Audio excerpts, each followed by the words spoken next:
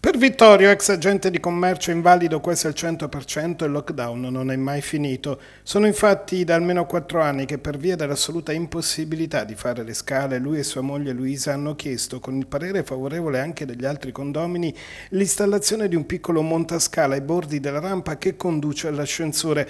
Una spesa peraltro non particolarmente esosa, ma dall'amministratore di condominio mai alcuna risposta.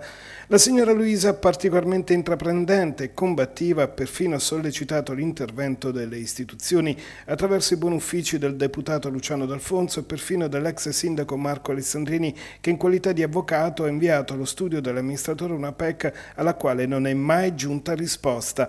Luisa e Vittorio, molto conosciuti nella zona stadio di Pescara, hanno ricevuto il sostegno di tutto il quartiere, addirittura si sta pensando anche a una petizione. Anche noi abbiamo provato a contattare lo studio dell'amministratore di condominio, ma ci siamo dovuti dovuti accontentare di un messaggio in segreteria e attendiamo delucidazioni. Vittorio, con estrema dignità, prosegue la sua vita da segregato, passando le intere giornate davanti al computer. Quelle poche volte che è riuscito a mettere il naso fuori casa è stato grazie all'intervento di mezzi sanitari o alla buona volontà di qualche conoscente che lo ha preso di peso per fargli scendere una piccola rampa di scale. Sento eh, stringere il cuore quando mi dice aprimi più la finestra farmi entrare un po' d'aria, perché lui non ce la fa a scendere. E quattro anni di richieste eh, all'amministratore, mai nessun tipo di intervento? Nessun intervento, nessuna risposta, non intervento, nessuna risposta.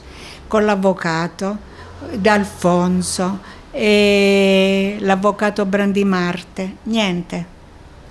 E, tra l'altro un intervento che non è nemmeno molto oh, caro, eh, un seggiolino movibile a, al Vanoscale. Sì, sì.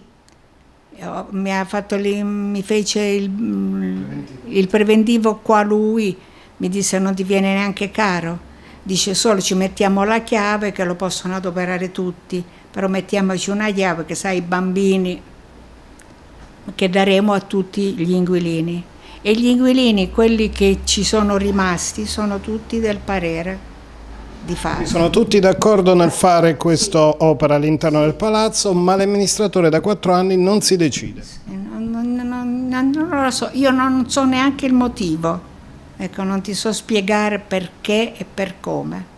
Ricordiamo che eh, insomma, sono interventi che vanno fatti per legge questi. Sì, beh, penso di sì, penso di sì.